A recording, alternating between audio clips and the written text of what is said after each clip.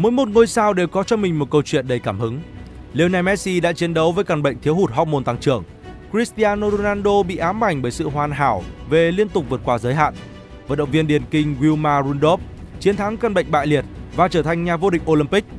Tay đấm huyền thoại Muhammad Ali mắc chứng khó đọc và lớn lên trong bối cảnh phân biệt chủng tộc nặng nề. Vậy câu chuyện của LeBron James là gì?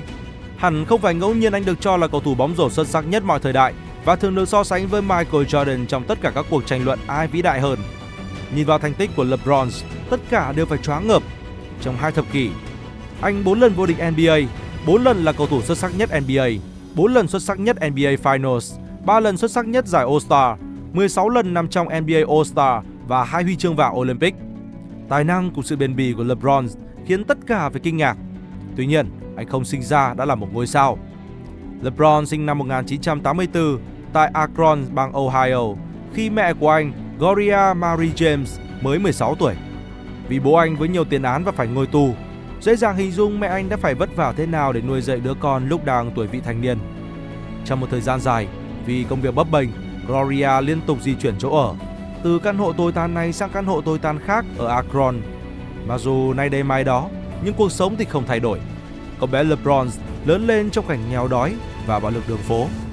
Thứ giúp LeBron chống lại cám dỗ, không xa vào con đường tội phạm chính là bóng rổ.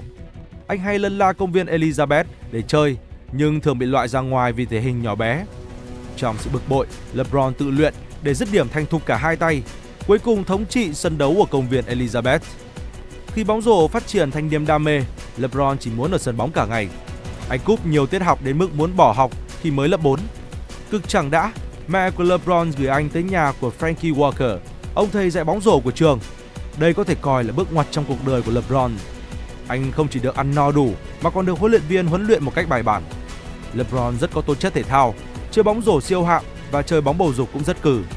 Tại trường trung học Saint Vincent Saint Mary, vốn dành cho người da trắng, LeBron tìm được sự thừa nhận khi đồng thời là ngôi sao của hai đội bóng rổ và bóng bầu dục.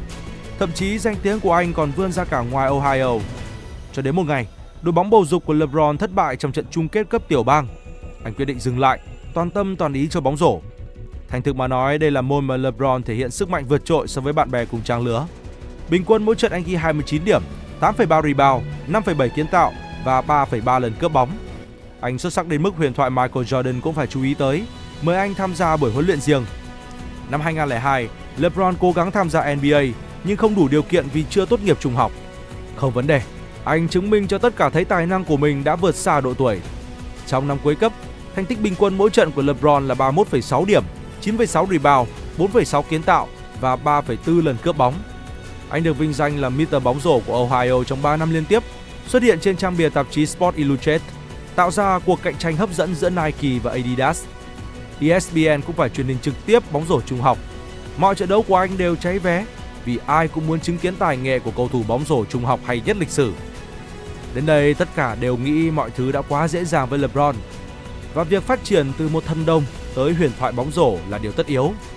Tuy nhiên tất cả quên mất một điều, rất nhiều sao mai đã tàn lụi, không thể vươn đến đỉnh cao bởi áp lực quá lớn. Freddie Adu, thần đồng bóng đá của nước Mỹ cũng là một điển hình. Được ca ngợi là Pele mới từ năm 14 tuổi, nhưng sự kỳ vọng đã giết chết Adu. Anh chính thức giải nghệ năm 31 tuổi sau nhiều năm lang thang ở những đội bóng vô danh tại các quốc gia xa lạ. LeBron đã cho thấy bản lĩnh từ lúc còn rất trẻ. Anh tham gia NBA Draft ngay sau khi tốt nghiệp trung học và chơi cho Cleveland Cavaliers, nhận giải thưởng tân binh NBA của năm, sau đó trở thành người trẻ nhất được chọn vào All NBA Team. Những năm tiếp theo, bất chấp Cleveland không phải là đội bóng mạnh, LeBron vẫn cho thấy tài năng vô song. Anh đưa đội vào đến playoff lần đầu tiên kể từ năm 1998 trong mùa 2004-2005, ghi trung bình 25 điểm mỗi trận trong hai mùa kế tiếp và dẫn dắt Cleveland tới trận chung kết NBA 2007. Mùa 2008-2009, LeBron giúp Cleveland đạt kỷ lục về quyền thương mại 66-16, đồng thời đạt được giải thưởng cầu thủ xuất sắc nhất NBA với thành tích ấn tượng, trung bình 28,4 điểm, 7,6 kiến tạo mỗi trận, tiếp tục đưa đội bóng tới chung kết Eastern Conference. Con số này lần lượt tăng lên thành 29,7 điểm, 8,6 kiến tạo trong mùa giải 2009-2010 để tiếp tục đoạt MVP NBA mùa sau. Rồi LeBron trở thành nhà vô địch 2 năm liên tiếp trong mùa áo Miami Heat, đăng quang lần thứ ba khi trở lại Cleveland và có lần thứ tư tận hưởng vinh quang với LA Lakers. Cùng với đó là sự xuất sắc hết mùa này qua mùa khác. khiến tất cả phải xưng tụng LeBron là nhà vua James. Anh biến sự vĩ đại trở thành một thói quen. Bây giờ danh tiếng của LeBron vượt xa phạm vi bóng rổ nói riêng và thể thao nói chung. Là một vận động viên tỷ phú, nhưng anh cũng đóng góp rất nhiều tiền bạc, thời gian và công sức cho các hoạt động cộng đồng.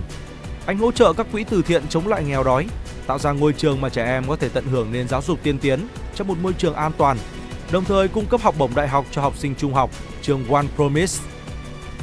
LeBron luôn biết mình sinh ra ở đâu và trải qua những gì khi nếm trải vinh quang.